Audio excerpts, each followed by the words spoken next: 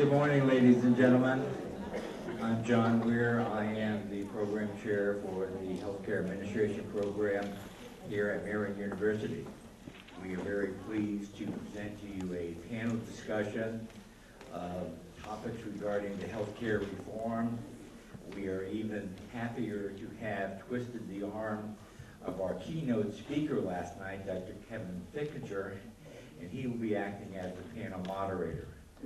Uh, to his left is Brett McKittrick and also Bob Simandl, who are from Simandl and Prentice, which is a human resources law firm in Waukesha. To their left is Dr. Greta Kostac, who is our one of our faculty professors in the School of Nursing. And then to her left is Steve Brenton, who we're very fortunate to have here today, who is the Wisconsin uh, Hospital Association president. And to his left is Stephanie Harrison, who is the president of the Wisconsin Primary Health Center Association. So with no further ado, we'll go into the process for the panel to introduce themselves and talk a few minutes about the healthcare reform, and then Dr. Fickenscher will do his panel moderating. Dr. Fickenscher. Thank you very much. It's a real pleasure to be here this morning and to have the opportunity to have this panel uh, and to participate in uh, uh, we've already decided that we're going to try to create some controversy, so that's always good. Wake everybody up this morning. Um, so uh, I'm going to ask each of the panel members to sort of introduce themselves, but uh, more importantly, to sort of start off with a question, which is last night when we, uh, when I made my presentation, we talked about a lot of the issues that are affecting healthcare. And, um, and then this morning we had a discussion uh, with the students about uh, all the changes that are going on in healthcare. So I'd like to start off with the panel, uh, with each of them maybe giving their perspective on what they feel, given all the things that are going on in healthcare, and all the policy issues that we're having discussions about, both at the state level, local level, and federal level, what do you think is the most pressing issue that hasn't been addressed, that really must be addressed if we're going to move the healthcare system forward? in a way that benefits society. So uh, we'll just start to go down the line here. So uh, Brett, why don't we start with you? Yeah, sure. Thank you. Um, my name is Brett McKittrick, and I'm primarily an employee benefits attorney. Uh, Bob and I work at a law firm that represents the employers. So how we're involved with this is for the last year, we've been going around trying to counsel our clients and get the word out about what is known and then what are some questions that they as employers and plan sponsors should be asking with regard to some of the changes coming out around uh, surrounding this health reform. Changes that affect both employers, enabling them to provide good employee benefits for their employees, and from the employee side, what they need to do and some of the decisions that they'll have to make surrounding their own uh, future in healthcare. Um, you know, probably the most important thing that, that, you know, we're hearing a lot about is this going to take effect when? what's going to happen in 2014? We know what went down a year ago, but is that going to take hold? There's political sides to this, uh, and, and you know where Congress is at now versus where the executive branch is at now. What are things going to look like?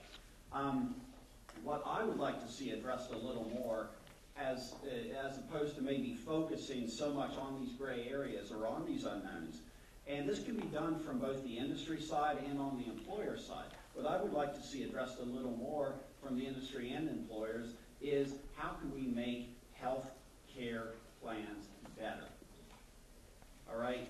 We're going to have to do some things, whether we like it or not, as a result of this health care reform.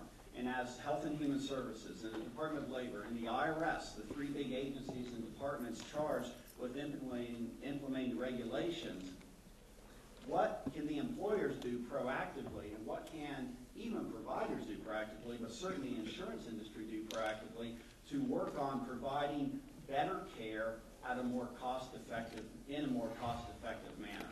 Without a doubt, however this ends up shaping up in 2014, it's not going to be cheap. There's no promise that health care being provided will be inexpensive. That's something that I think has been lost as well. And so what I would like to see the industry and employers focus on are other creative ways. We all have heard about wellness programs and wellness plans and consumer-driven healthcare and having employees and participants take a more active role in their own healthcare decisions from a, from a, from an insurance standpoint or a, a provider standpoint.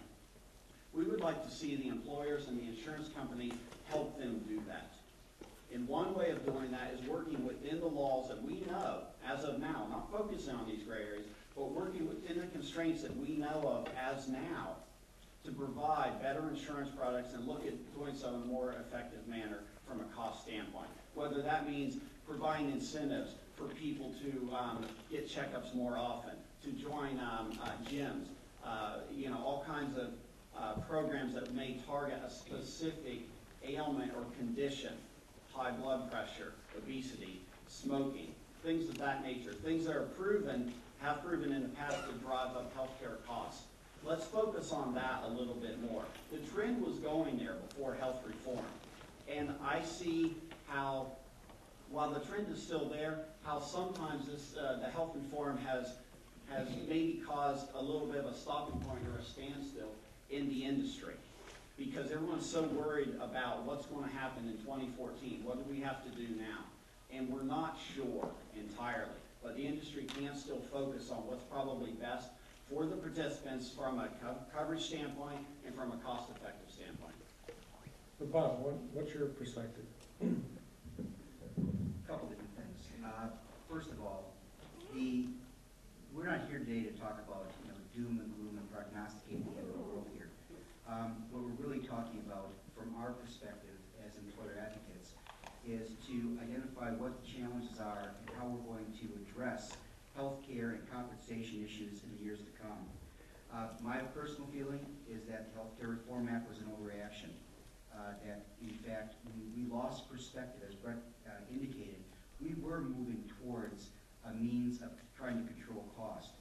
The Health Reform Act, the desire really was to create availability. It didn't address the cost issue. And the cost issue is something that's gonna have to come down sooner or later. What I see the bill, from my perspective, as impacting, is that for large employers, the, you know, thousand-plus employee organizations, the Health Reform Act is an annoyance. It's gonna make people, you know, do additional paperwork, it's going to, you know, involve additional, uh, cost allocations, but at the end of the day, it's not really a big deal. It's an annoyance. For the small employers, the under tens, uh, this is really a non-issue, because what we're really talking about, an employer with ten or fewer employees, you're talking about a family-owned business, for the most part. Something where they had individual policies covering the two or three key employees, that there may have been a number of part-time employees working for the employer, and that's it. This law impacts the middle class. That's what this is all about. That's the grouping that's gonna see the escalation in costs. Because they're the group that doesn't have the availability of self-insuring the benefit. They're gonna be out there looking for insured products to make sure that their people have coverage. You're gonna see a change in the composition of workplaces, where before employers had a, a number of full-time employees, they're gonna have to make a decision as to whether full-time employment is really in the best interest of their business's bottom line. And they're gonna have to make decisions on that basis. This, uh, the law, in my mind, is really going to impact that group. That's, that's where this law is going. It's gonna impact their bottom line. Middle, the, the middle market employers are not the ones that we hear about on Wall Street with their stock value fluctuating, you know, on a daily basis. These are the folks that their profits go back into the development of the operation and provides wealth to their employees. That's the group that's gonna be hurt here. And we are gonna see cost increases. And, you know, I think there were a lot of different ways that we saw going, dating back to the health reform, and back to HIPAA, which would have been means to address the concerns without throwing the baby out with the bathwater. Greta? By the way, just so you know, I'm, I'm I'm taking notes, I'm not doing email. Um, I'm Dr. Greta Kostac, and I'm the Department Chair for Graduate Nursing Studies at Marian. And I have a little different approach that I'm going to talk about, and that is the role that nurses are going to play in our future of healthcare. Um, Specifically, I was asked to address the role of nurse practitioners. However, I want to put forth the idea that nurses in general, be that, uh, be a professional registered nurse, a nurse educator, a nurse practitioner, nurse midwife, clinical nurse specialist, nurse anesthetist, all will play key roles as we go through healthcare reform. Um, already two years ago, there was a projection of about hundred and twenty-seven thousand, uh, physician, uh, shortage estimated by twenty twenty-five. And thirty-seven percent of that shortage is going to occur in primary care. And so we are looking at dire straits as primary care is delivered. I feel that nurse practitioners can play a key role in that, and as healthcare reform moves forward, there are some issues in healthcare reform that were not addressed um, as far as nurse practitioners. And so I think we need to look more fully at what the role of nursing and nurse practitioners play in the healthcare reform. I am a proponent of primary care. I think nurse practitioners can deliver wonderful primary care, and uh, there are excellent, excellent programs. Uh, Marian University has one, we have several throughout the state. I want to see in healthcare reform, primary care emphasized and prevention. I don't think that, we need to move away that we need to take a pill to fix things. We need to fix things before the pill is needed. And therefore, I think that what we need to be looking at is a strong emphasis on prevention. And I think you, um, you addressed last night that we can get a smoker into the clinic, but we don't get paid to help him quit smoking. That's not seen as something that is um, important uh, in some aspects. So we need to emphasize that we should be allowed to sit down with patients for 30, 45 minutes, an hour, see them back for repeat visits that only involve either prevention or health uh, care modification. And that is, you know, I really think that's where we need to really, really focus on. We need to move away from fixing things after, trying to fix things after they have happened and really move forward and be looking at prevention. Steve? Yes, good morning. Uh, I'm Steve Brenton, President of the Wisconsin Hospital Association. Uh, I represent 140 Wisconsin hospitals. Many of them, much like um, here, are community-based organizations that are not only acute care hospitals, buildings with beds, but uh, also employ physicians and are extremely active in providing uh, a large array of community-based services uh, for the communities which those organizations serve. Uh, Last night, uh, Kevin, listening to your uh, presentation, your excellent presentation, one of your early points, uh, I think related to how the public looks at healthcare. Um, I think how the public looks at the healthcare reform bill um, is, is um, following months months and months to come of divisive debate and rhetoric uh, probably isn't, uh, um, isn't all that favorable. uh, Not not the favorite subject, but as the public looks at healthcare for themselves, I, I do think, I totally agree that they look at three specific issues. Uh, The first one being healthcare costs. Bottom line is, I don't want to pay more than I'm paying right now, in fact, I want to pay less. okay? The second issue is quality. Uh, I want the very best. I know it's out there, and, you know, when I'm sick, uh, that's what I want. When my family's sick, that's what they're gonna get. And the third issue is, uh, is the issue of service or access. And in this era of instant gratification, I don't wanna wait to see Dr. Smith for twenty minutes. I don't wanna be treated like I'm going to the Department of Transportation to get my license renewed, which actually is a better experience today than I recall it twenty or thirty years ago in Madison. My concern is that if you look at this legislation, those issues largely are unaddressed. Okay? That bill was largely about coverage, adding 16 million, 32 million lives, and it was also about insurance reform. Okay? Those three key issues that relate to how I look at healthcare, and I suspect most of you look at healthcare, are not addressed. So the bill is either flawed, okay, or incomplete. So let's be positive and say that it's incomplete, which means that there's a heck of a lot more work to do. And I think that there will be a lot of tweaks to this legislation uh, in the next several years, you know, once we get beyond the, uh, the the debates in Washington and beyond. I think there is one area that almost all of us can agree on, and and Greta just talked about it. The whole issue of prevention and wellness and primary care and focusing on and paying for that, uh, I think will uh, frankly help address the cost issue as well as the quality issue uh, and the, uh, the service issue. And I totally agree that, um, that nursing professionals, you know, will be the primary caregivers of the future. But perhaps we'll get into that issue later. And so Stephanie, what, what is your perspective? Good morning, everyone. Uh, My name is Stephanie Harrison. I'm the Executive Director of the Wisconsin Primary Healthcare Association. And we are the member association that works with Wisconsin's 17 federally qualified health centers. Um, We also refer to them kind of in shorthand as community health centers. I don't I don't know if that's much shorter. Um, Community health centers were actually founded back in the 1960s as a kind of a model that uh, one of the founders actually discovered in in Africa about tying uh, primary care and prevention and wellness activities directly to the communities that are being served. So some of the features about a community health center that are kind of unique um, are that they are locally owned and operated, generally nonprofits. All of the uh, health centers in Wisconsin are nonprofit 501c3s. Um, they can also be public entities. Um, but they all have a mission to serve the uninsured and the underserved. So our target market is people below 200% of federal poverty.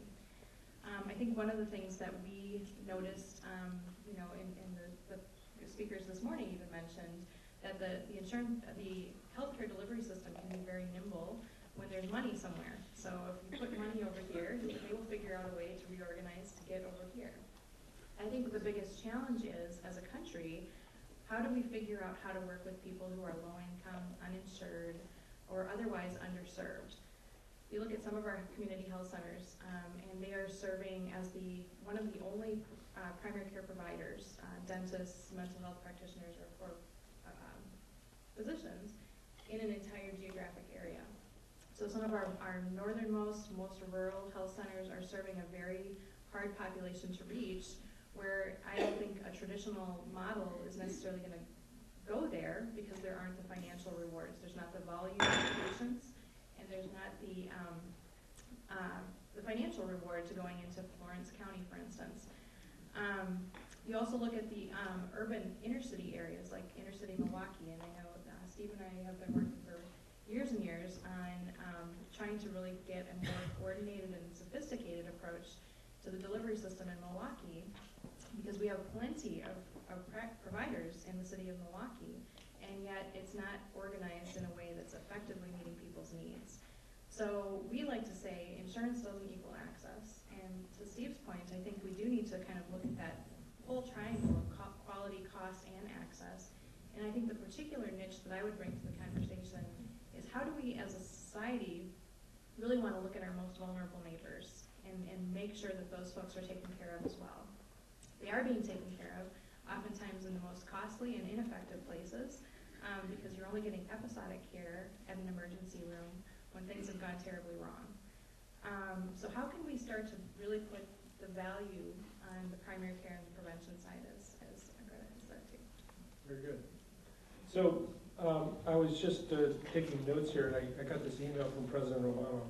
Uh, he said, not really, um, uh, but he tweeted me. Uh, and, and, uh, he said that, uh, he's been very disappointed, in the leadership that's been provided by Congress, and so he's appointed this panel to design the future healthcare system, uh, cause he heard that we were meeting this morning. And, um, so we are now the czars of healthcare. Uh, And I think as, as czars, what I heard is that we all agree that the passage of the legislation called healthcare reform was really an insurance reform package. I mean, I think we all agree with that, right? Uh, And that it didn't deal with the care delivery model. So we now have been empowered to create the care delivery model. So my question for us is, now that we're the czars, uh, what should we do? So why don't I start with Steve, you know, jump in I'd be, I'd let's be happy to jump in. I'd be I, I, I tend to be extremely um, optimistic about the assets that Wisconsin has. Mhm. I, I think we can be, we are a state, uh, and I guarantee, we have our faults, no question about it, but we have, from a health delivery perspective, um, things in place that others, and I, I would put Minnesota in this category too, maybe Iowa, that others dream about. In fact, the president was in Green Bay, um, back uh, two years ago.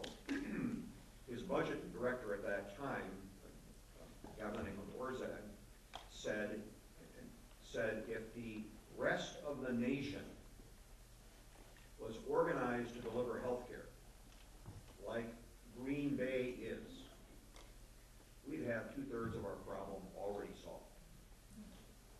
He could have said the same thing about La Crosse, could have said the same thing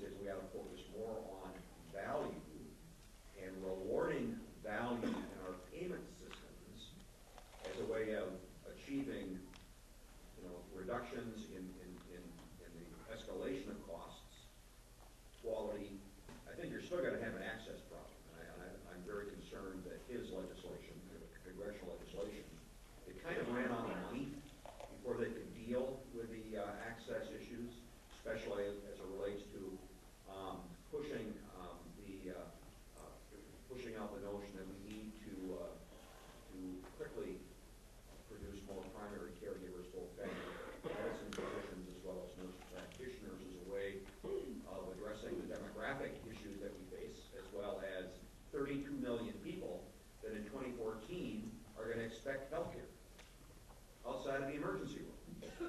And where are they gonna get that? When we already have a system that is fairly, you know. So where are we gonna get that? So how is, what would be the design features that you put in place? I mean, you know, I mean, I'm gonna push on it a little Yes, bit, because I, um, I agree with you. I, I think we really need to push scope of practice changes to Medicare payment, okay? Um, as it relates to primary care, um, especially through nursing. So would you do that for pharmacists as well? You know, I don't know enough about pharmacy, but I, I think, you know, pharmacists can be caregivers to a certain extent.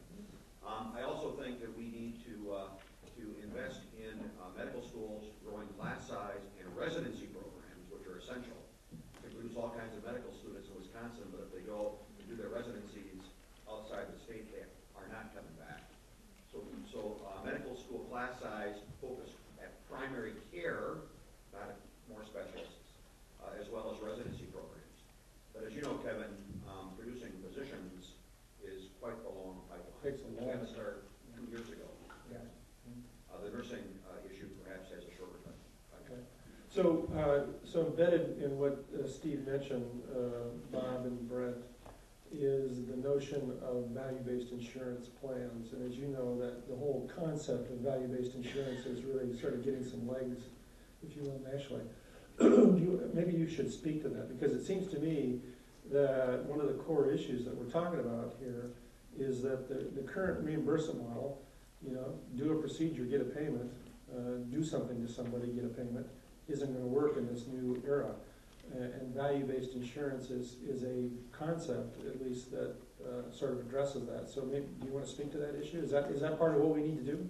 I think it is, and- but I think before we get to the idea of value-based insurance, is that we need to take a, a fresh look at how do we, how do we address care and prevention issues right now? Uh-huh. the primary issues. We're going to address this a little bit. Right now, under, uh, I'm a a huge advocate of wellness programs. Mhm. And I think that they can be, if they're done properly, they can be a huge plus in minimizing cost and really utilization issues down the road. But right now, from a governmental perspective, we are so hamstrung in putting into place an effective program under the wellness initiatives that they're really, they're, it's just, you know, cotton candy. It's just it's fodder. There's no value to them. For example, we all know that uh, having uh, four meals a day at, at McDonald's and smoking uh, five packs of cigarettes a day and three and a half quarts of Jack Daniels probably is not a healthy lifestyle. Probably. I'm not sure about that. Um, But when we're looking at that perspective, when I say, when I know from every medical uh, item that's out there that smoking is a very bad thing, there's nothing I can do about it. I can't rate individuals differently to motivate their behavior from a financial perspective. I can only say, will you please not do this? And there are no teeth, because if I go that route and say, I'm gonna set up a diff- premium differential here, what the Department of Labor's come out and said, well, geez, you know, smoking may very well be a disability. It's an addiction. And therefore, you're really targeting smoking addicts. And that's what this is all about. We've missed the perspective in trying to create an effective uh, system where we, you know, have wellness initiatives. Right now, wellness plans are, are mouths. I mean, there really is no teeth to it. And until we as a society say, we understand that obesity is an issue, we understand that smoking is an issue, and we need to take steps to curtail that, until we can make that, that call, we're really, you know, we're dumping it back on these people's laps, saying, figure it out. So you're saying we have to create a reimbursement model that creates accountability on all of us who are the consumers of healthcare. Not, it's not just taking care of people after the fact, which we, we clearly, I think, would agree, we got some issues there. But we gotta proactively get people engaged in their own health. Right, because you're really dealing with three groups. You're dealing with the uninsured, mm-hmm. the underinsured, and then the, the, the employee, that sort of that middle group aspect. The one thing, from the employer perspective, we can control that, that side of the equation through plan designs and things like that, but we don't address your concern.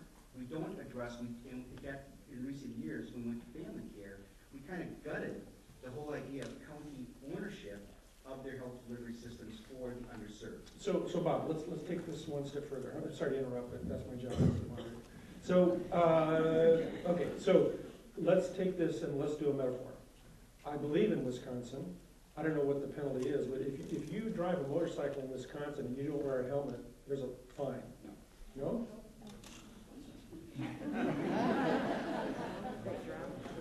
What kind of retro state is? And until recently, it was fine to drive your snowmobile drunk too, so. Fine. Okay, so, okay, so bad example. Uh, I think I just figured out a piece of legislation that should be introduced. Uh, um, But if you don't wear your seatbelt, is there a fine for that? There is. So what kind of fine is it? Hundred bucks? I'm not exactly sure. Anybody, Yeah, it's it's Ten dollars. secondary, it's a secondary, ten dollars?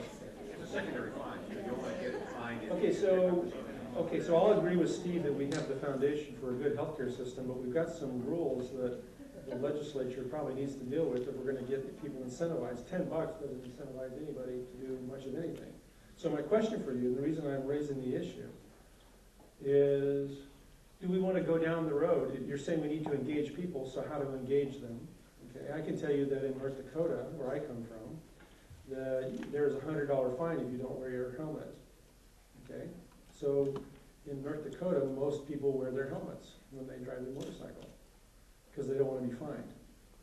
So if you go down that road, are we going to fine people who smoke? I mean, we put people in jail who smoke marijuana, or use OxyContin that they buy on the street. So where do we draw the line? Are we gonna do that? Are we gonna say if you're over a certain body mass that, yep, there's a fine, you gotta pay a fine? Where, where, where do we go? And I think what you're suggesting right now is what I believe would be an effective wellness plan as a disincentive. We- Okay. We, people do things, for the most part, not in altruistic. I mean, I, I'm not gonna stop going to downstate because I feel it's a healthy thing. There's gonna be, because I got my, my cholesterol results, there are thousand points. Right, Uh, what's my disincentive? And until we can get to that point where we put a cost along with the undesired behavior or a consequence, we're not gonna get there. so you think we do need to do We something? absolutely need to do something on Okay, this. So the debate becomes how to do that, probably. Correct. That, that would be your argument. So, uh, so let me turn to the providers here, to Stephanie and to Greta. What are your, what are your perspectives on that issue? I mean, you, you actually see people in the clinics and, you know, what do you think? Um, I agree that there has to be a lot of teeth into, to changing and promoting positive health behaviors. And I can tell somebody that comes in and I can tell them at every visit, every time I see them, multiple times, you need to smoke and stop smoking, and this is why. I'll bring out the chart that shows within one hour, this is what happens, in eight hours, this happens, twenty-four hours, six months, one year. I can tell them that my father died from lung cancer because he was a heavy smoker, and it doesn't matter.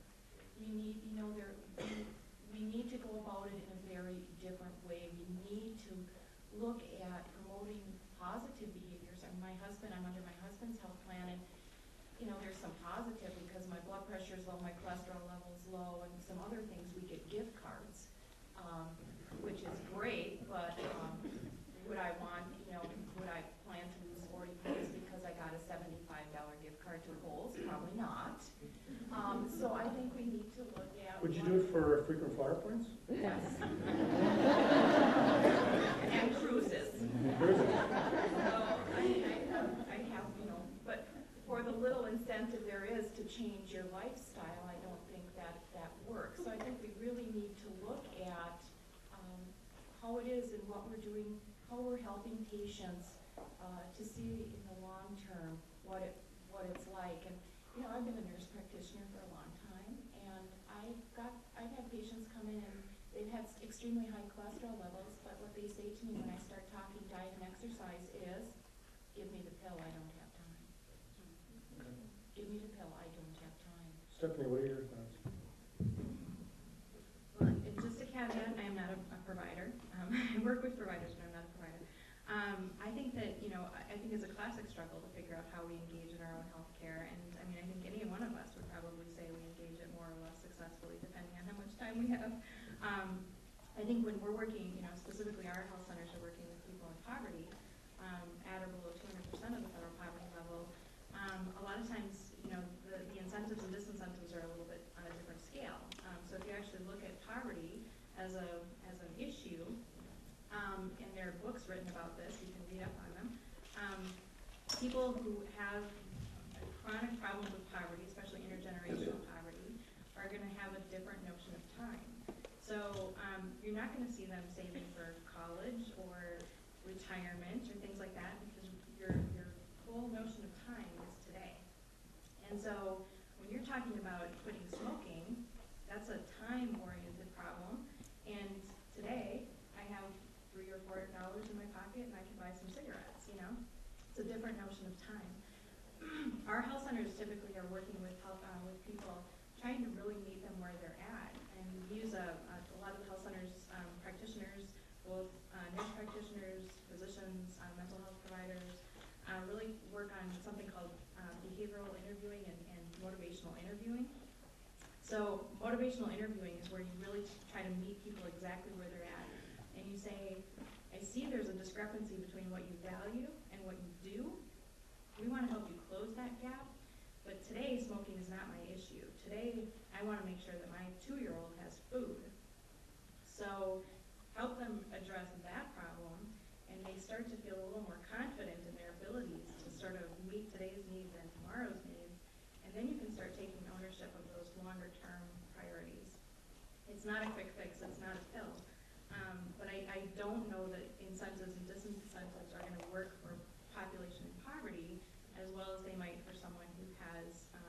little different notion of time. Okay. But let's turn to the, question that um, all of you sort of alluded to. Um, I think, Steve, you jumped into it on, uh, directly in terms of medical education. I want to talk about the workforce issue. Um, And I'm sure we all have perspectives on that. Uh, So Steve, you were suggesting that, you know, we should see additional expansion of medical school classes, et cetera. Um, Let, let, let me challenge that for a moment. Uh, And it's based on the notion that it does take a long time to train uh, folks in- in primary care especially. So um, is a workforce model that's based on the physician providing care, is that the model of the future? Because you were also talking about integrated care. And if you have integrated care, it seems to me that the approach that should be taken would be a team approach. Most physicians, from my vantage point, aren't trained to work as team leaders. So how, how do, what, what things do we need to incorporate, if we're gonna expand the classes, what things do we need to incorporate into the curriculum so that we get a different product? Yeah, well, you know, that's, that is the, uh, that is a big, complicated question with a not so simple soundbite, uh, solution to it. We've got an hour. Let me, let me, let me first, let me first say that we, I, I, I think it's unequivocal. We will have a physician shortage in the not-too-distant future. Largely primary care, but perhaps not only primary care, and part of it is a distribution issue. You go to, uh, you know, Waukesha County or Ozaukee County, and it's different than if you go up to Oneida County or to Iron County. Um, so I think, my sense is, though, we need, we need to really have an emphasis on family medicine, what used to be called internal medicine, geriatric medicine, you know, folks who actually work with people and with teams of other caregivers, which I view will primarily be, you know, very trained nursing staff that in many cases will be doing basic physicals, et cetera, um, and being paid accordingly. Um, Without question, though, also, medical schools produce a lot of terrific scientists um, who see things in some cases as being black or white, and the more specialized they are, the more black or white they see it. And uh, that has to be also part of the curriculum. I don't think you legislate it, however. Um, I'm, I'm rather gun shy about the notion that government is going to solve a lot of these problems. The government can give basic direction and create great incentives, and then the private sector needs to get it done. But um, I, I, I am a big proponent of a team approach, a wellness, a, a medical home type model, okay, um, as being the way address these complicated issues, you know, going forward. Um, and I do think that additional physicians is part of that, but certainly not the only part of that. So, okay, so let's extend that discussion, because I think uh, this is an inter- interest- interesting issue. Um, So if we take family physicians, general internists, pediatricians, and I think about the model that we've developed for giving them the skills that they have, basically what we've asked family physicians to do is to learn as much as they can about a lot of different things and then provide direct care, put their hands on people, right? We're, and, and we've done that for pediatricians and general internists as well. Is that the model, or should we, on the alternative, because one of the things I learned when I moved out of the direct practice of providing care, and I moved into the management, is that I was incompetent as a physician. I, I didn't know how to manage people, I didn't know how to lead teams. And I had to learn a whole new set of skills. Matter of fact, if I had to work with me twenty-five years ago, twenty years ago, in management, I would have quit in absolute disgust. I was so bad. Now, over 20 years, I've learned a little bit, I'm a lot better. I wouldn't necessarily quit in disgust, I wouldn't like quit. But uh, that being said, part of the issue that we're dealing with here is the way we train people. So are we training family physicians, general internists, and pediatricians correctly? Do we need to alter the model for how we educate them? Do we need to teach them how to be team leaders? So, uh, maybe, yeah, Stephanie, and then Greta? So I'm, I'm hoping for provocation here. I'm telling them that we're gonna have a Jerry Springer moment up here. So, um, I think, I think everybody is gonna need to be practicing at the very top of their license and their capabilities. I don't know that it's necessarily the physician's job to be the team leader. Um, I think that we often ascribe that person that role because of their training and their education, but that might not be what they do best.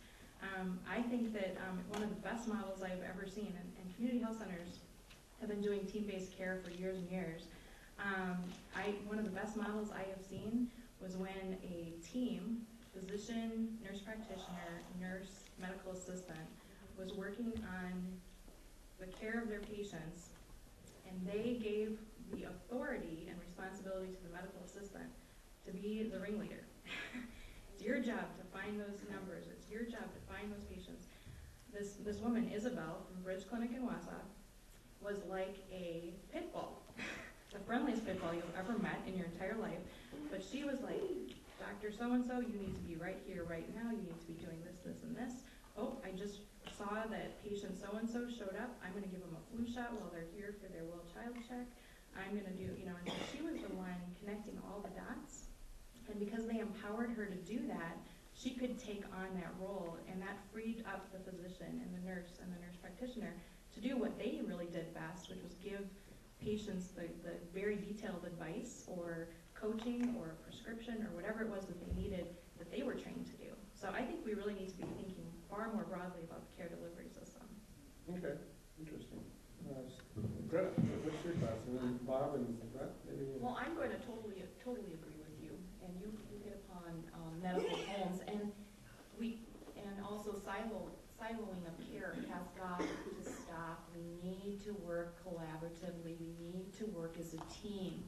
I know up in the Appleton Fox Valley area right now, they are doing that exact, um, type of a practice where, uh, even the receptionist has some authority to do things that they haven't been able to do in the past.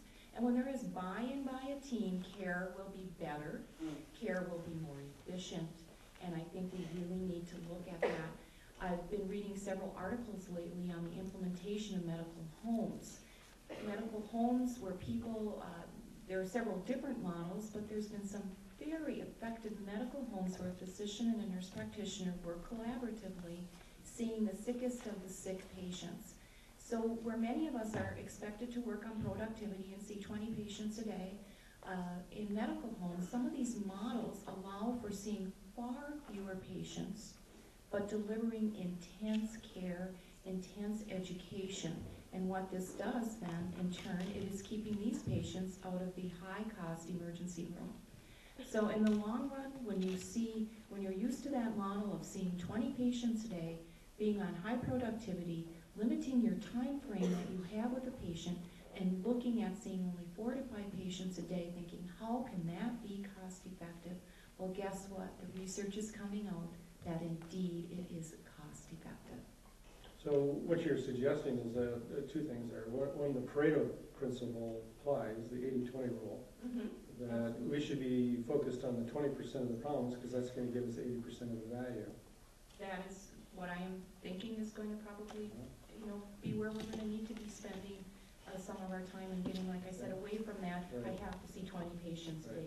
Maybe I can see six and impact them. The other thing that you're, s- that you were pretty clear about, and it's embedded in that, is that the, the reimbursement model has to change. That if, Well- you know, if we pay for twenty things a day, people will do twenty things a day. Yeah, Versus if absolutely. we pay for a medical home, you know, people will provide medical home services, Precisely, and I think we'll need the data Yep. to support that medical homes do work. So, uh, Bob, what's, what's your perspective, and Brett? Yeah, I, I guess, uh, mine's a bit different. I mean, I'm listening to the, we may be approaching a Jerry Springer moment here. Um, when I look So, at, can we have some chairs? uh, I'll, I'll leave that one. Um, when we're looking at the delivery system, there's, there's two different things here. A, a great delivery system does not equal a cost-effective delivery system. And the thing that we need to measure here, balance here, is if we're talking about team, where the sum of the parts do not exceed the whole, I'm with you.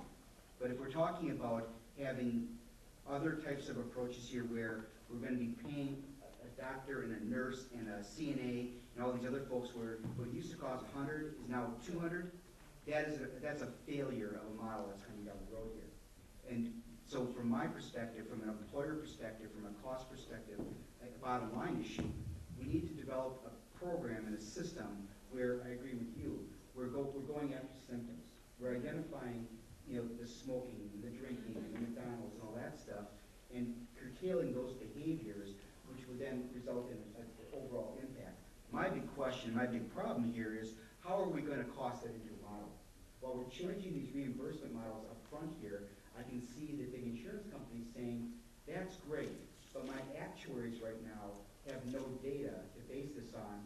So while you change these models, and you change this reimbursement formula, I still have this presumption of this, that this is what's gonna occur down the road here. I'm gonna price this model plus plus ten percent or fifty percent because of these changes here, so now I start to see the spike. If we can get some way in the, you know, in the actuarial evaluation of these products and design issues, I see it successful. But until we can control the, the costing and the methodologies associated with it, I don't see it as successful, right?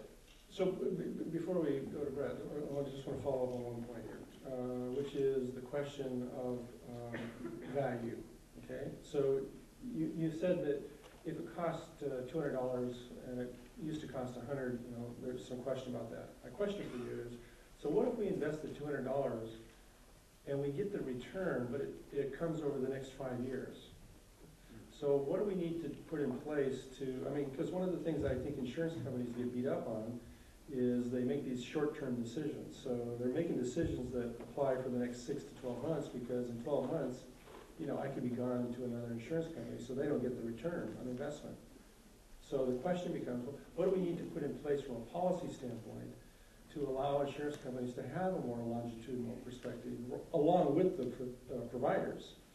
Because I can tell you that as a family physician, that I really thought about my patients from a long-term perspective because I was hoping that they were gonna stick with me, and in fact, they did, over, you know, a period of years. Versus, you know, insurance companies, I've had three different insurance companies in the last five years, not because of my choice, but because of my company's choice. Right. And your company's choice is probably motivated because of dollars. Money. And, So how do, from a policy standpoint, what do we need to put in place to change that so that, you know, well, first thing we need to do is to stop pretending that health insurance or medical care for individuals is a one-size-fits-all. Stephanie's issues that she's addressing here today are very different than my employers in offering group-term health. Yours is a completely different demographic, completely different social economic concern, and we need to pretend, stop pretending that doesn't exist. We need to address that. From the employer's perspective, I think what we need to do is to, to create some disincentives, the wellness programs again. Mm-hmm. Because the, ins- the insurance companies, while we talk about it's a six, 12-month perspective as far as valuation, I don't believe that.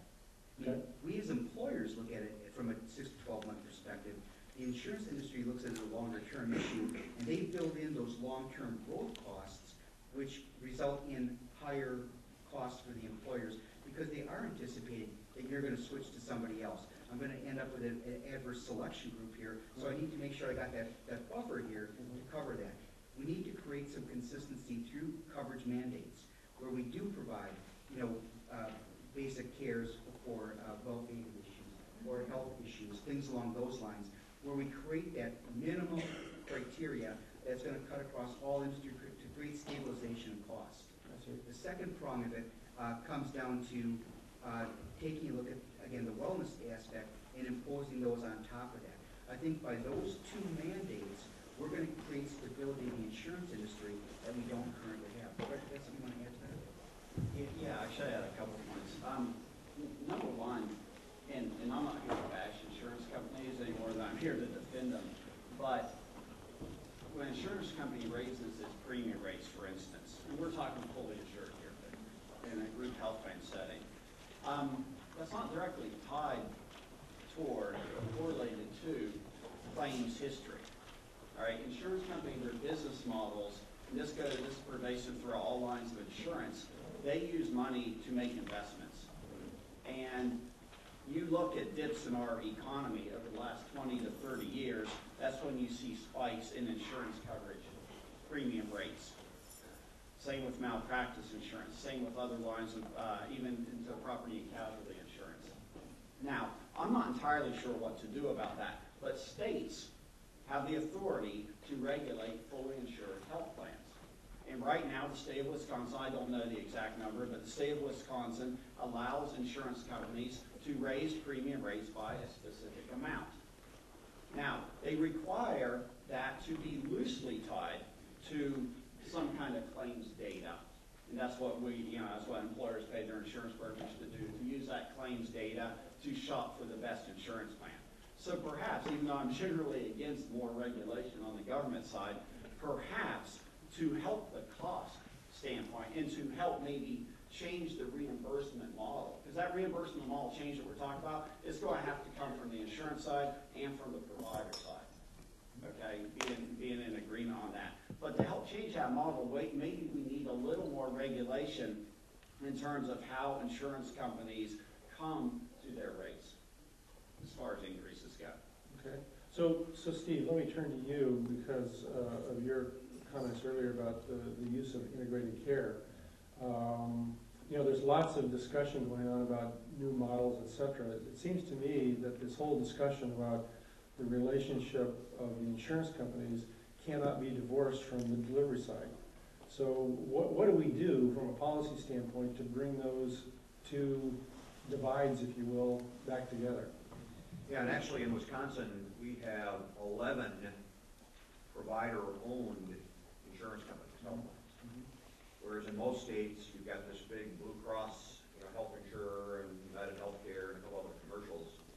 Um, in this state, you know, for example, in the Madison area, there, there there really is no commercial insurance. Uh, the provider systems have their own health plans, which, you know, have the potential then of aligning the kind of incent, I think, aligning better the kinds of incentives we're talking about here. But, um, it is a big deal to move from something that is working, at least as it relates to paying your bills, which is this procedure-based approach. The more you do, the more you get paid, into doing it, frankly, the way we all agree it should be done.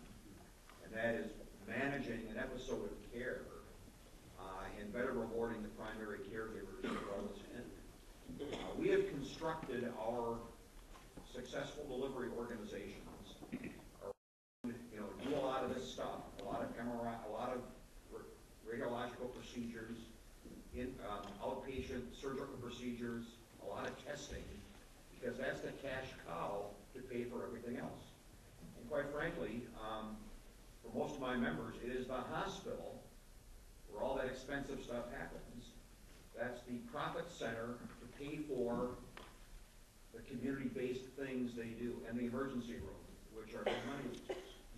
So how do you how do you transition from that model, which we know we need to transition from, but it works, at least on a day-to-day basis, it pays the bills, into the model that we think we, you know, need to be in the future. And gosh, I wish I had the, uh, magic wand to do that. I can tell you, though, uh, because I think Bob mentioned that we need to have data, uh, that allow us to know what an episode of care costs, and then try to, to develop innovative, um, pilot projects to try to make that happen. Um, we, we now in Wisconsin actually have that data. Over the last couple of years, all of the payers have come together and shared their data. Actually have episodes of care data. We know what the price should be, the cost should be, for example, of an average knee replacement. Not just a surgical procedure, but everything that goes into before having that procedure and then the rehabilitation after. And we have provider organizations in the next year or so will come together with payers and begin to experiment with paying for that overall procedure as opposed to the component parts of that procedure, okay? Which, again, theoretically ought to incent people to do it, you know, to do high-quality outcomes with less stuff. Because being paid for that unnecessary stuff, you know, is no longer gonna be incented. We're gonna do it for knee replacements, we're also gonna be doing it for uh, diabetes care, which is one of those chronic illnesses that are part of that unbelievable expense um, that is not very well paid for by by these teams of caregivers that we think ought to be doing the job right. So let's, uh, let's shift the discussion. We've been talking a lot about cost and, you know, reimbursement models and care delivery models, et cetera. Let's, let's shift to the whole question of quality. Um, last night, I, I, I made a point, uh, I don't know if you folks agree with it or not, is that one of the issues is that in healthcare, we're not very transparent. Um, so where, where do you come down on transparency? I, you know, I, I'm of the opinion that we should take all the data that we have and just put it out there on the web. Uh, now, that's a bit scary. Mm, makes me kind of nervous. But you know what? I think that would probably do a lot towards changing healthcare. If all the data was out there, it's amazing to me what people will do when information is available. They start manipulating it, they come up with, hey, did you notice these patterns, etc. Uh, so where, where do we fall down on the issue of transparency and quality? Uh, because that seems to me to be a core issue if we're going to drive change. Because there's a lot of data that shows very clearly that, you know, for example, there's a really interesting study that was published in one of the journals here a couple of years ago, that if you give data to the individual physician, you know, and you give them their report card, and you give it to them, you'll see an incremental change in behavior. If you then take that data and say, well, we're gonna give it to the department, and all the department people, so all of my colleagues have that data, you see a much bigger change. And then if you take the data and publish it, you get a massive change. So my question is, you know, if we give it to Dr. Fickenscher, uh, I guess I can make a few changes. If we give it to the department and they say, Dr. Fickenscher, you know, get with it, buddy. You're not doing a very good job. Versus we publish it and all of a sudden everybody in the world knows that Dr. Fickenscher's a schmuck and he's not doing a very good job. I'm gonna change my behavior. So my question then becomes, so where do we fall down? Where, where do you folks believe the employers are? Where's the care delivery system? Where are the individual providers? Where are we at on, tra- yeah, go ahead, Stephanie. I'm, my hunch is that everybody at this table will agree that transparency is really critical. Wisconsin is actually a leader in doing that, and so we see the Wisconsin Collaborative for Healthcare Quality, a lot of the work that WHA has done, or Price Point, Checkpoint, things like that on their website. Um, you can get a lot of good quality already available, very publicly available on websites. Um, I do think it's really going to be important, though, to recognize that there are probably two aspects of the quality that we have to pay attention to, and I'm not sure that we always pay attention to both equally. I do think that quality published is going to be very helpful in driving insurance company behavior, practice behavior, provider behavior. Um, but the reality is that a lot of patients aren't going to necessarily care if you, um, you know, you as a provider um, have an average diabetic A1C score of 7.9. Um, they are going to care if your team makes you makes it very accessible for them, if they feel cared about, if they have a good guide in navigating the healthcare delivery system.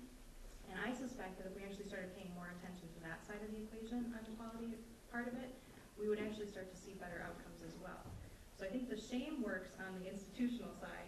I think the, um, the, the quality as perceived by the patient experience is going to be a big driver in, in getting that patient engagement and in driving um, the real outcome delivery. So what you're suggesting is that uh, all of us are more driven by the experience than we are about uh, the data. Yeah, and I'd like to follow up with that because uh, I I totally agree with Stephanie that historically what we have reported to you have been clinical process measures that create a lot of yawns. Um, You know, aspirin delivered within 24 hours of arrival for a heart condition. Um, I think all of you expect that if that's clinically appropriate, it ought to darn well happen, and quite frankly, it happens at 95 plus percent level in almost all of our hospitals. What we're beginning to report, and Stephanie meant, mentioned things that are going on in Wisconsin right now. Those of you that are interested, uh, two websites. One is Checkpoint, uh, C-H-E-C-K, capital P-O-I-N-T. You might- You might find it by Googling Checkpoint or Checkpoint Wisconsin, or going on the Wisconsin Hospital Association website. The other is a website done by the Wisconsin Collaborative for Healthcare Quality. It's Wisconsin WCHQ. It has performance measures that are largely clinic-based, whereas Checkpoint is hospital-based. Go on Checkpoint and look up um, uh, Agnesian, um, see hundred and twenty-some measures. Some of them, okay, are in fact the very outcome measures we're talking about. Patient experience at that hospital, and then you could compare it to other local hospitals. You see what patients say in their surveys about how things went. Frankly, I think that's a lot more interesting um, than whether or not, know, these clinical um, measures were followed. We're also now beginning to report mortality, you know, deaths, uh, rates that are acute, that are addressed for acuity of care. I, I don't want to get too technical here. We're actually beginning to report things that I think are of interest. What I think patients really want are physician measures, physician-specific scores. I think, quite frankly, we're a ways away from seeing those, especially simple report cards. Um, I can tell you one thing, if you do start reporting hospital-specific and really physician-specific scores, that data better be unimpeachable. Okay? Other words, otherwise, there's gonna be such a negative reaction, you're gonna set that whole movement back by years. Uh, I'm very optimistic, though, that the glide path is for far, far greater transparency. The other positive thing I'll, I'll, I'll mention is because we've been reporting clinical measures, um, we being the Wisconsin Hospital Association, on a hospital-specific basis now for seven years. And absolutely everything that we have reported has shown improvement during that seven years, which I think uh, basically addresses this issue. If you report it, it will improve. Even though frankly, I don't think we have a lot of consumer engagement, but clinicians are looking at what they're doing, especially in comparison to other hospitals, and that's becoming, you know, kind of an incentive to, uh, to do better. Interesting, but, uh, so I'm a foodie, so, um, I, I like to go to restaurants and, you know, it's one of the things that's interesting about the food industry is that, uh, they don't really report on, you know, whether or not you cooked the fish for a minute and twenty-six seconds or not, and whether or not you made the sauce the day before and then added it at the last minute. That's not the kind of data that gets reported. What gets reported is the ambience of the experience, the quality of the experience, the food and taste and all that kind of stuff. And what you're sort of suggesting, Steve, is that healthcare has gotten stuck in talking about what are the specifics that we do in the kitchen versus what's the ambience of the experience. And that really we need to shift towards that because as consumers, we expect that the fish will be cooked properly. We don't know exactly how it's done, but we sure know what it should taste like, right? Am am I on track with where we need to go in healthcare? And that's not something we've done in healthcare. People want outcomes that Yeah. they can understand. Yeah, You know, they want to know that for patients that have recently been at a certain hospital or a clinic, yeah. were they given at discharge instructions that they were able to talk about and to understand before they left? Mhm. And that's rated now. Okay. So, so Bob and Brett, uh, on the insurance side, I mean, so how do we get the insurance companies to sort of create models that provide payments for that kind of an experience? Yeah, actually, if I can be non-responsive for a minute, and uh, Sure. more so than usual, um, and, and just back up, I think because of geographic constraints and also coverage constraints, patients don't have a lot of choices that, that I think we're, we're talking about here. And I think the type of data that is more important to the patient, maybe so a little more important than their provider's grade or provider score, is data that's pertinent to that patient. For instance, Cleveland Clinic's going through a program right now where they're making transparent medical records and charts. I'm sure a number of other hospital groups are, are doing a similar thing. Um, but I, I know from reading research papers on the Cleveland Clinic that quality of care has been thought to be improved, and not to mention how quickly physicians will um, make reports on the charts and get those charts finished because you know, people are expecting them. They have an online access code. They can go and read those within 24 hours of their appointment. So I think that's something also we should mention here, and, and while we're talking about transparency, is getting that information specific to the patient back to the patient. Bob, any additional? I guess that I got more of a question than anything else, Steve. Um, know, when we're looking at, you know, these, these rating systems and things like that, is this, is this a time that we should be looking at contraction uh, within the industry as far as hospitals and, you know, I don't want to say rationing, but rationalizing delivery systems within communities? I, I know that in my community, uh, a number of hospitals have gone through a remodeling process, and we have the exact same uh, machinery to make them cutting edge at six different hospitals, and we've only got maybe thirty thousand people in my area. Does that make sense? I mean, what's, do, do we need to rethink that and go to what Fred was talking about? Maybe uh, focusing more of our energies in some of these uh, alternate delivery systems as a means of maximizing care?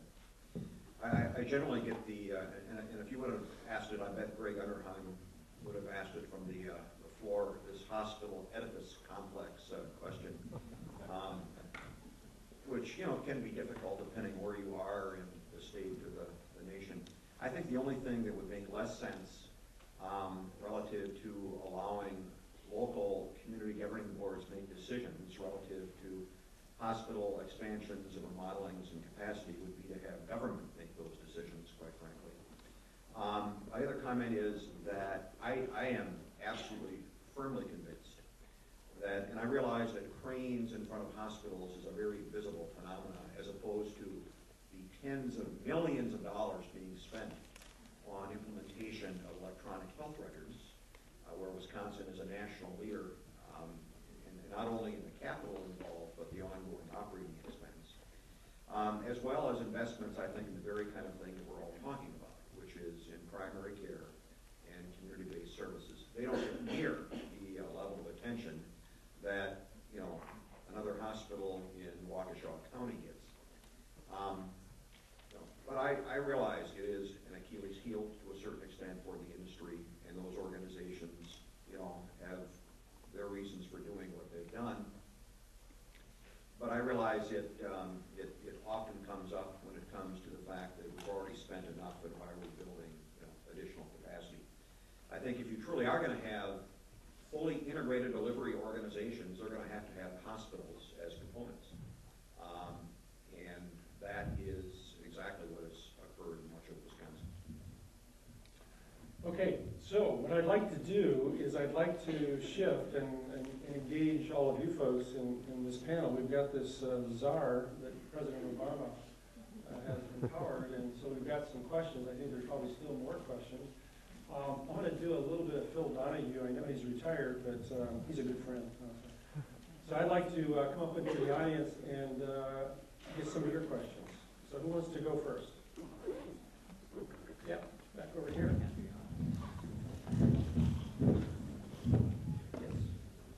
Yes, I have a question about worksite wellness. Hold it up a little closer.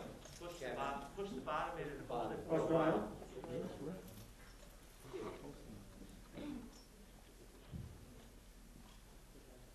Yeah, it's on.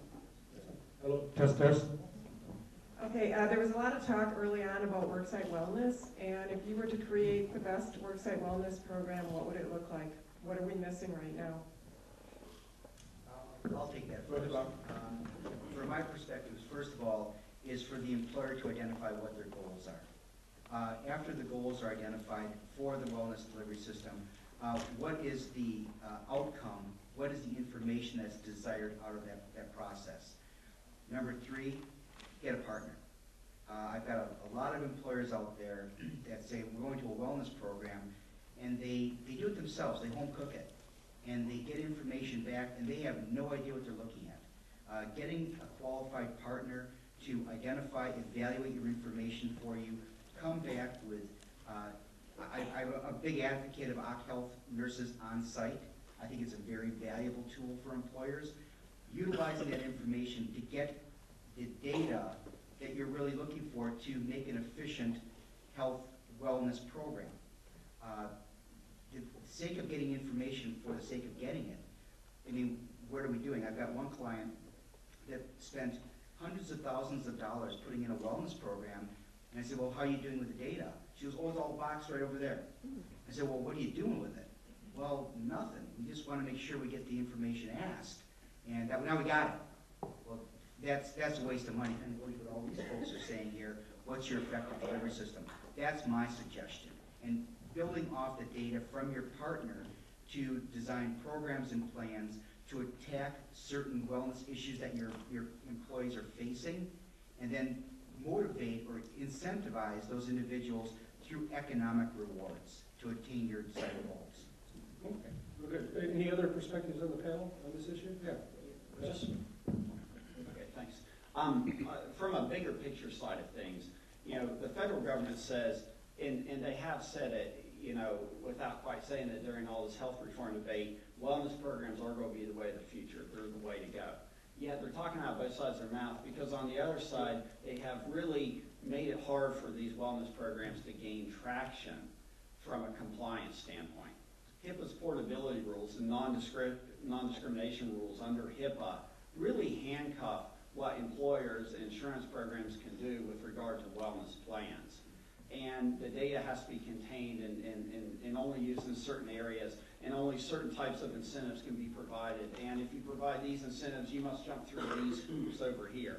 Now, some of that regulation is obviously necessary to avoid abuse or to avoid list billing, things of that nature. But I think um, some loosening of those reins will achieve what the government is trying to do in, in terms of encouraging employers and insurance programs to develop more creative wellness plans like we're talking about here. Okay, Greta, did you want to add Yes, something? and just, I agree totally with Bob. I think it starts with doing a needs assessment. And it isn't just what the employer wants, you need to have buy-in from employees. Because if the employees are not invested in what the change is, they are not going to participate in that. And, you know, there can be quite a, a, a you know, a big difference between what the employer thinks he wants and what the employees think they want. So I think a needs assessment with employee uh, input is imperative. And I also think that a lot of things, when we talk about costs, can be done very economically. At Marian, we have a health and wellness committee, and they arrange different things that can be extremely low cost to do. Um, so I think you need to look at the whole gamut. Are, are you gonna buy expensive exercise equipment and build a gym? Um, look at that employee buy-in and what those employees wanna do, and put some of the onus on them. Okay, well, good. Uh, other thought, other questions? Yeah. Get there. Second. This is good exercise. Due to the shortage of physicians and what we are going to see, why in 2018 master's nurse practitioner programs need to be doctorate programs, which I believe will decrease nurse practitioners in the future? Is there a problem with the master's NPs today, and why is there why is this occurring, and how will this affect the healthcare delivery in the future? Yeah, uh, Greta's going to answer because she actually does this. But I have to say that I am very concerned about the, de- the, the degree creep that we're seeing in some of the healthcare professions. Pharmacy, physical therapy, you know, some of the nursing degrees. I absolutely don't believe that you need to be a PhD to do a lot of the primary care. In fact, I think the PhD um, candidates are likely to be the faculty, et cetera. Um, I don't know the, the details relative to this requirement, but I, I tell you, we've seen it across the board in the medical professions, and I think it could be an impediment to uh, doing the necessary workforce changes that we're going to need very, very soon. Greta, what are your thoughts? You have come to the professional. Uh, You have some very, very good points that you have made. When the edict came out that all advanced practice nurses should be prepared at the doctoral level, many, many programs, including the vast majority of those programs in the state of Wisconsin that offer advanced practice nursing degrees, went ahead and developed the DNP. At Marian, we decided to wait. We decided to wait for a number of reasons. First of all, nursing historically has um, said they wanted to do several things, and they don't always move as quickly as they were said, you know, said. Um, so we waited. And I was out at a conference, I went to conferences um, in January and February in San Diego and in Scottsdale uh, with looking um, with our accreditors, and they have put the 2015 deadline on that. It is not standing. Our accreditors cannot they can encourage, but they cannot mandate that we do the DNP. As a result, at Marian, we have seen just a great influx in students, those master students who do not feel that they want to proceed with the DNP. Uh, What are the pros and the cons? And when you look at the DNP, there's several different, um, and a PhD, several different specialties, and some DNPs focus on program planning and evaluation. If that's not something you want to do in the future with your master's degree and you want hands-on primary care, I believe that then the MSN is appropriate for you. So right now, as, as we sit at Marian, we are not going with the DNP, we are staying with the MSN. That is not to say we aren't making curricular changes. Uh, in this, in the next few years, there is not a drop dead date, but the adult nurse practitioner and the gerontological nurse practitioners are going to meld together. They're going to do away with both of those specialties, and it's going to become the adult gerontological nurse practitioner. Therefore, we'll be better able to deal with our aging population. Uh, at Marian, we've already integrated that into our curriculum a great deal, so we will be making some changes. But at this point, we are having an MSN um, level entry. And will we move to the DNP? Currently, we are not mandated, nobody is forcing us, and we find the vast majority of students we get don't have the uh, time, they don't have the financial resources to invest another one to two years. Not to say that the DNP is not a valued degree, because it's an extremely valued degree, and it just depends when it, where and what you want to do in your nursing career. Other people will disagree with me uh, and say that they feel that the DNP is, and the PhD should be entry level into advanced practice nursing.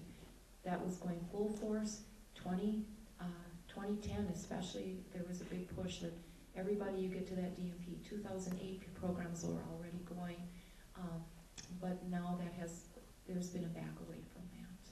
So I'm going to be a panelist here uh, for just a minute because I have a bit of passion on this issue. Uh, One of the things I mentioned, I really agree with what Steve was saying, and I, I think I agree with what Greta is describing as well. Um, One of the things that is an impediment for the future of healthcare is the guild mentality. I talked about that last night. And uh, having, treating the professions as a guild where we protect it and we build up walls around it by creating degree creep, which is what I think the word you used, Steve, degree creep, is uh, an impediment. Um, I think it is better for us to be thinking about how do we hold accountability for a team of people who deliver the care, regardless of what their degrees are. It doesn't make any difference what the degrees are. If, if you can do it with a frontline person who's been through a six-hour course, so be it, from my perspective, if you, if you got the right outcomes. And I think that's one of the problems that we have in medicine today, is that we're very trapped in this guild mentality. It, it affects medicine, nursing, pharmacy, all of the professions. And we've really got to get away from that if we're going to be successful, because there simply aren't enough degreed people. Now, that's not to suggest that degrees aren't important. I do believe that they have a role, but we shouldn't use them as barriers and hurdles for the delivery of care, which I think is kind of what's, that- that's always occurring. That's been occurring for the last 40 years. This is not a new phenomenon. It's been going on for 40 years. So, no, no, not be a panelist anymore. Um, Other questions? I'm sure there's more. Yeah, right here. I can count on you for a question. Um, There's a topic that was brushed up against by the panel, but not explored fully, and, and that topic is rationing. In insurance contracts, care is rationed explicitly. You're told exactly what the con- contract covers, you buy or you choose not to buy it, you're told what you won't get and what you will get. There's an explicit rationing there. You then talked about uh, the potential of increasing cost for behavior-related um, uh, uh, healthcare problems. That's rationing of a different sort. As the price goes up, people are able to make less choices in the healthcare. I'm okay with that kind of rationing. If, if you're engaging in behavior-related cost increasers in healthcare, you should probably be required to make choices of the kind of care you're gonna receive and face increased costs for you- behaviors you engage in. My concern goes to rationing of a different sort, which may be a product of the healthcare uh, law, and that is at some point, if we don't get to the reimbursement mechanism that uh, Steve Brenton talked about, if we don't find a way to pay for episodes of care, and I think everybody thinks that's a long way off. If we don't get there, there will conceivably be insufficient dollars in the healthcare system to fund the care, particularly to seniors, that, that, that, that will be a need for in the future. So what about government-related or government-determined rationing, which is very different than the rationing that's going on right now in the marketplace? So, so thoughts and perspectives. Steve? Yeah, you know, one of the reasons, everybody loves the Medicare program. Everybody loves it, and why? Because when you're a senior and you get that Medicare card, mm-hmm. you pretty much can go see any physician that you want pretty quickly and have available to you a wide array of services. Now, on the drug side, there's a little bit more consternation because in some cases you have to pay for part of that. But, you know, under the original Medicare program, drugs were really never an issue to begin with. So, but my point is that, um, you know, Medicare is a great program. In fact, many in Congress, uh, on the Democrat side of the aisle, wanted Medicare for all. And why do we even have this commercial insurance business where these guys make money off of commissions, you know, by selling uh, insurance products to, uh, to businesses and to, to individuals? You know, the only reason that Medicare works, from my perspective, is that there's a safety net, and it's called private insurance, commercial insurance plans, which pay hospitals and physicians significantly higher, at higher payment rates than the Medicare program pays. Uh, Medicare for all, if we had Medicare for all anytime soon, you would not begin to see, and, and for some of you that might be not a bad idea, but you would not begin to see the type of health delivery system and access to just about anything that you want tomorrow uh, available because Medicare does not pay the full costs of care provided to uh, that population. It's paid for by the folks that Bob sells insurance to, who pay 120, 130 percent more uh, of costs, while Medicare pays 85, 90 percent of. And, you know, my sense, one of the concerns that I had with this legislation, and frankly, I still have it, uh, as it relates to the creation of these insurance exchanges in 2014, is that gradually we will move to a more public system where there will be less and less commercial covered lives. And from a provider perspective, you know, that's going to have a major impact on the ability uh, for, you know, healthcare jobs are pretty good jobs? May not be as good as, you know, some public sector jobs, but I'll tell you, it's good health care benefits, um, family sustaining wages and, and incomes.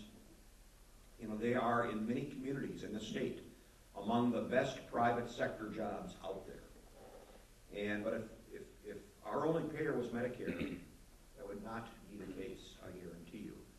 Uh, and the ability of hospitals and physician clinics to add new technology, some of you may believe too quickly, but to be able to uh, add technology that the public wants would be uh, stifled a bit because of that financial situation. And, you know, my concern, and I know it gets kind of caught up in the rhetoric uh, for those, some who went well over the top uh, as it relates to opposing this legislation.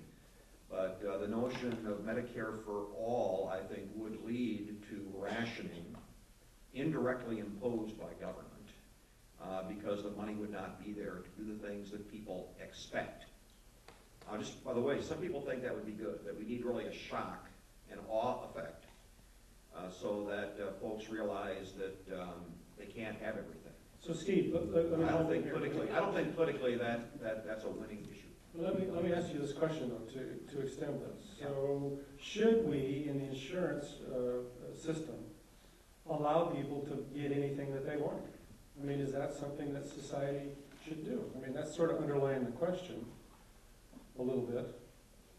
I mean, you know, uh. But see, I don't know who's gonna make those decisions, uh, because it's easy for me to say, you know, I don't think that this guy up there needed that MRI procedure two days after he twisted his knee playing tennis last Thursday, okay?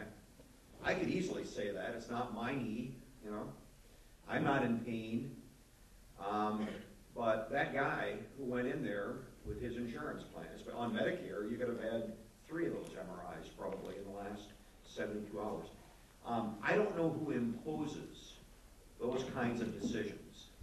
Uh, I would not want it to be government, I'd rather have it be medical caregivers. I guess the question, I guess the question, Steve, is that are, are all the things that are done at the hospitals and at the institutions that you represent, are all of them necessary and do they really contribute to health? Or are they done because they generate revenue? Now, I mean, you know, I mean, we have to be honest. Absolutely, some of that happens. Yeah, some of that happens. And the question then becomes, what is that percentage and, you know, does it, how are those dollars allocated?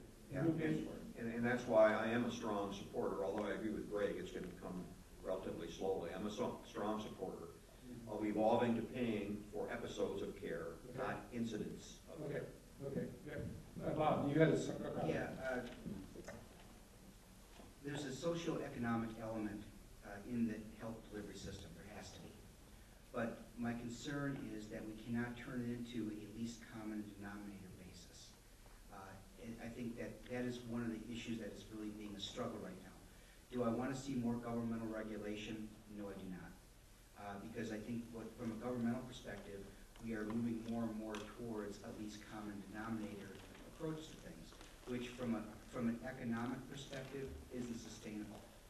Um, When I look down the road here, and Steve had an issue about the exchanges coming up in the near future, I on a panel recently in DC, and there was a gentleman there who was discussing the exchanges and really, did Obama really get national health insurance as a result of the Health Reform Act? And the idea that employers in the very near future will have a, a decision to make. Will they say, I'm done with health insurance, go to your exchange, here's the money, do what you need to do? From an employer's perspective, a bottom line perspective, my, I would say to my employers, yes, get out of the health insurance business. Why do you want to spend fifteen thousand dollars a year on, or more on health insurance when you can pay a fine of twenty-two hundred bucks and you're done? Right? In the near term, that's a great economic decision. But in the long term, are the exchanges gonna be able to really sustain themselves on that twenty-two hundred dollar penalty? And I think the answer is gonna be no. So what we're gonna see is, we're gonna see the trans, transition from private sector to public sector, and then when people start seeing the, the rates go up on the exchanges, now we're gonna say, ooh, we gotta do something differently here to contain cost. I wanna go back to private sector, and that industry may not be there in its current form. Okay. Uh, Any other thoughts on this particular issue? So, question, other questions? Somebody's pointing over this way. Pointing way over this way. Who's that? Oh, down here. Got old eyes. Thank you. Um, I'm going to add another dimension here that's a little bit different than what we've been talking about. Um, And the whole idea of teams that you had mentioned and, and working together as teams and, and developing the uh, delivery care system there. And then the added dimension too about the possibility of not being so gilded in the mentality of that, that you have to have a medical person, you know, saying something that might be medical to another person.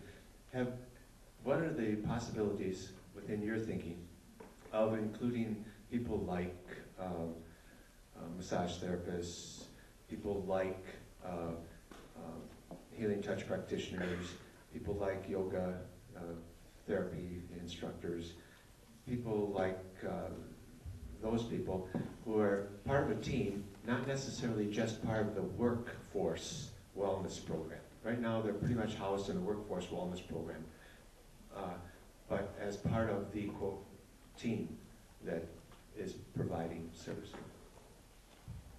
So, thoughts on that? Yeah, Steve? Yeah, I can, I can respond. I think, I think alternative medicine, um, very well could be part of that team. Um, I, I really don't want government to mandate that alternative medicine be part of that team, because that would be an extension of the guild thing. But I think successful organizations that are putting together medical homes with teams are gonna think about the very issues you've talked about. And they're gonna be more successful if they respond to the consumer demand, and, and increasingly consumers are demanding those kinds of services as part of their overall primary care. You know, I have to add, so I have a new panelist here, uh, I have to add that, uh, I, I have a problem called peripheral neuropathy, and I've got pain in my feet and whatnot. And I went to a pain management center recently, what was interesting is that they, they approached me and they said, Kevin, uh, we'd like you to talk to our medi- meditation therapist, and I said. I'm a family physician, I'm sort of classically trained, I said, oh, come on, I don't need a meditation therapist. And they said, look, Kevin, we really think this would help you, so we'd like you to try it. So I did. And you know what? Been amazing. I mean, every morning I get up and I do my 15 minutes of meditation, and it, it's helped. Now, I, I have no idea how that has happened. Uh, I mean, as a clinician, as a classically trained allopathic physician, it doesn't make a lot of sense to me, but it works, and I'm sort of going with it, and I wouldn't have done it if I hadn't gone to this pain management center and a doctor had said to me, no, no, this is really important. So I think you're right, we don't need to mandate it, but it probably needs to be considered as part of this team effort. And as we go to episodes of care that Steve was talking about, it seems to me that that notion gets built in. That's part of what comes back then full circle to the guild thing. We should let the care delivery team figure out the best delivery models. So, yeah. I, I would just concur with everything that's been said, and I think that, you know, I would stretch it even farther beyond that, like, um, you know, a faith community, like peer mentors, like, um, you know, behavior, or, uh, I'm sorry, um, lay health educators. Um, there can be a whole array of people who are part of your team, and I think when you connect, uh, culturally with the, the people you're serving, and you're really responsive to what they're asking for, it can be very, very useful. Um, and so, yeah, in some circles, you know, a, a meditation approach would be very natural. In other circumstances, that would seem very, very foreign. But I think it's a matter of being able to make those decisions locally and, and really drive what works for that population and, and for you as an individual. You know, the other thing that's interesting about uh, care delivery, alternative care delivery models is that, you know, one of the most powerful care delivery models is peer, peer care.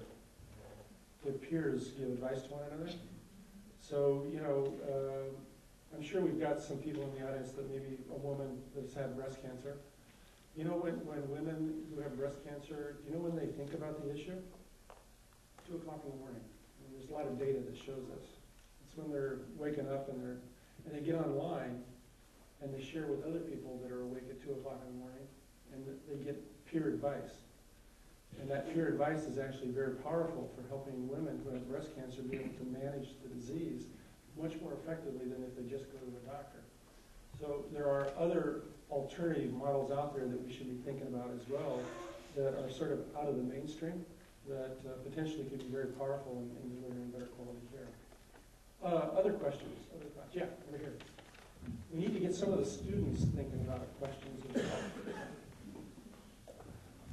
As I listened to the uh, panelists uh, this morning, the theme that has emerged, from my opinion, is that of change. We're dissatisfied with the current system, there has to be a better way. But as I'm thinking about that change model, whatever we adopt, people will make mistakes, despite their best efforts to the contrary, and that sounds of negligence. And as I'm thinking about the various issues here, would, what are your thoughts with respect to having caps on the inevitable malpractice that will occur as we go through the change cycle? Good question.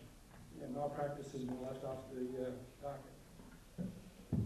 Uh, I'll be glad to take that one. Um, As it relates to the caps, it's, it's a tough call. I mean, I, I see it from both sides.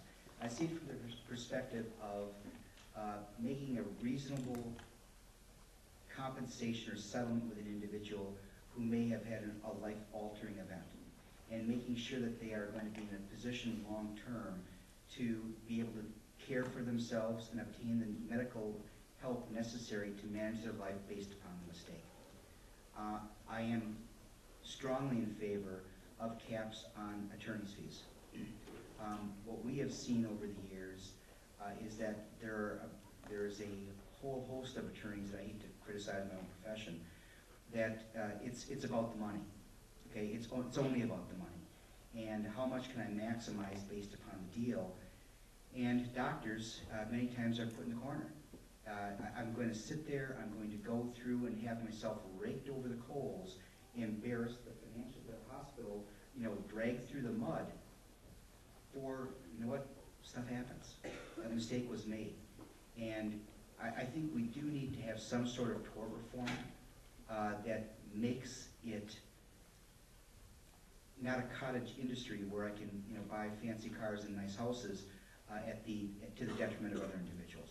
We need to take care of the person who is the victim, but not necessarily reward the legal profession with thirty and forty percent recoveries. The money's going the wrong place. That's my opinion. Yeah, Wisconsin currently has uh, caps on non-economic damages of seven hundred and fifty thousand dollars. And then there are no caps on economic damages, which would be, you know, lost future wages, medical expenses, et cetera. Uh, I think that is an appropriate number. Um, and I think it's an appropriate number because it balances the kind of things that Bob talked about. Um, the attorneys, you know, contingency fees, I'll let, you know, somebody else argue their way through that issue. Um, Unfortunately, the national legislation did not contain any tort reform, national caps, and that was strictly a political call. I mean, it was a constituency-driven political call, right or wrong. I believe it was wrong, um, but that is the fact. Wisconsin is viewed, by the way, nationally as a relatively favorable state for physicians from a tort perspective. Because not only do we have caps on non-economic damages, where in some states they're unlimited, but we also have a patient compensation fund, which acts as a kind of a buffer or a reinsurer for, um, for medical malpractice claims. It's been a very successful, um, um, and it's, you know, part of the, part of those arrows in the quiver that many of our organizations use when we recruit physicians from other states. Uh, and there are a lot of states that look to Wisconsin, for example, uh, as a relative haven uh, from some of the, uh, uh, some of the vagaries of, uh, of medical malpractice uh, court actions. Uh, Let me, let us extend this discussion a little bit, um, because the, the question, I think, also needs to be asked. um, Tort is a state's issue. And uh, are we at a point, because of a lot of the changes that have occurred in society, where really tort reform should be incorporated at the national level, that it should be a national issue? I mean, there's been that debate, that discussion. So let's, let's start with that question, but I think then that, that extends then to the next issue, which is, are we also at a point where licensure for providers should be also nationalized? You know, I mean, in Australia, when you have a license to practice medicine, you have a license to practice medicine in Australia. It's not by state. Uh, you know, in the United States, you have to get your license in every single state, and they're all different in terms of manage it, et cetera. Does that make sense when we've got cross-border practice, et cetera?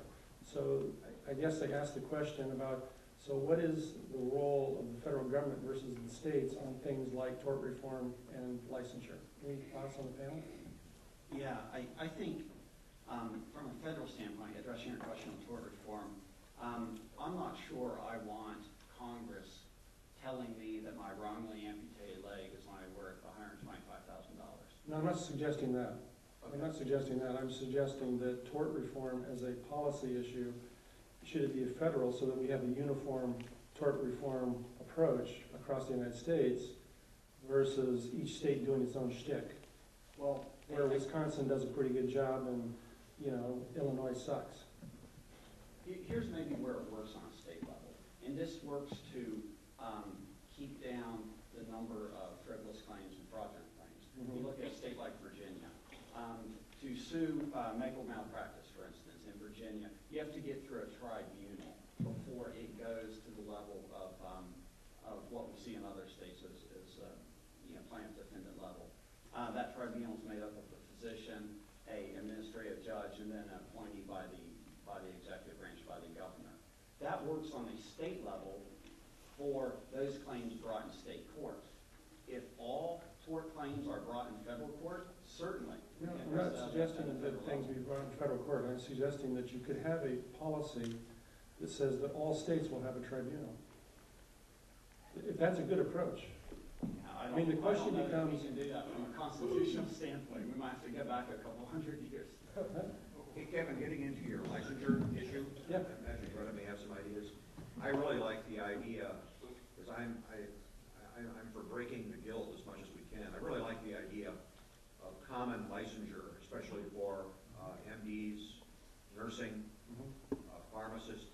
Wisconsin, and we, we work, uh, Hospital Association worked hard on this. We actually have a compact between Minnesota and Wisconsin as it relates to nursing. We're still working on the other states. I mean, and it- it's amazing how these licensing boards will oppose this stuff, even though, you know, quite frankly, in ninety-nine point nine percent of the case, you can get that license. You have to jump through a million hoops and pay a lot of money, and in some cases, wait months, you know, to get that license moved from one state to another. Um, So I, uh, I like the idea, and generally I'm a states' rights person, but I like the idea of having a national standard, at least for uh, a lot of the clinical um, type professions that I mentioned. Okay, Greta, what are, what are your thoughts?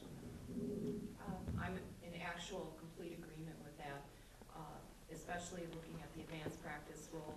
You know, we are a border state, and um, to to carry dual licensure as an APRN is, is not real cost effective either.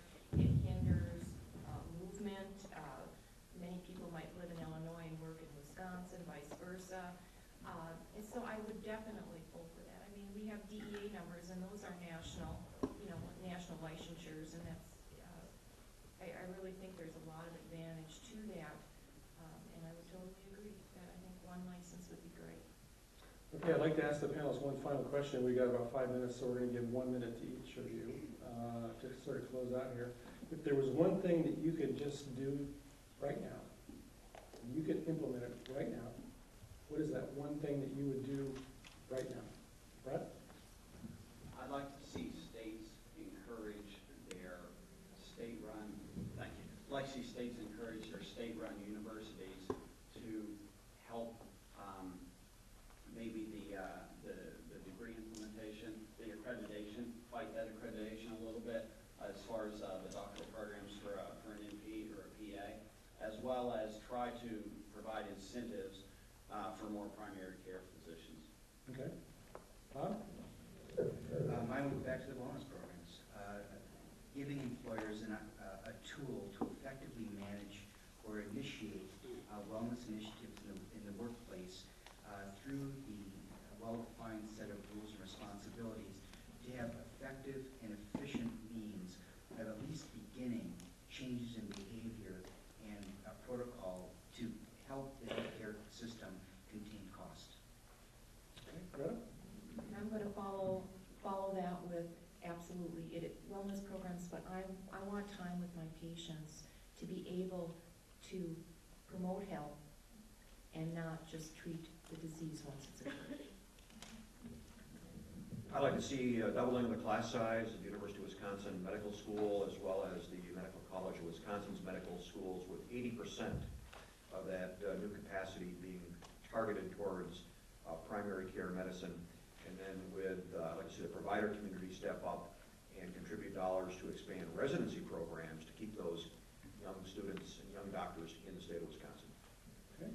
I'm gonna go a little left field here, but um, I'm gonna, I would say that I would really try to eliminate poverty.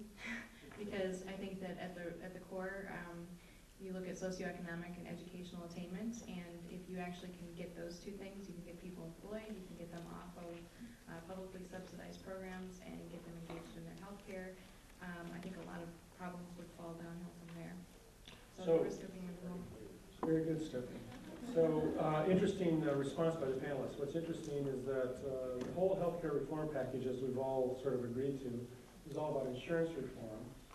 And the five uh, things that people would do right now don't really relate to insurance reform, except for a little bit of what Greta was talking about in terms of time, uh, availability, so that you, you aren't focused in doing things to people. But we have educating primary care providers, we have wellness, we have the time issue of uh, how do I spend my time.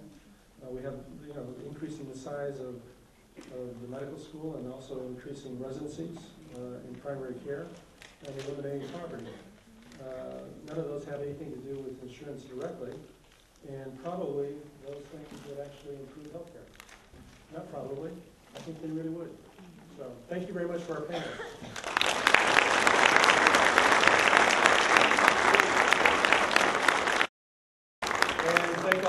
for coming to our session.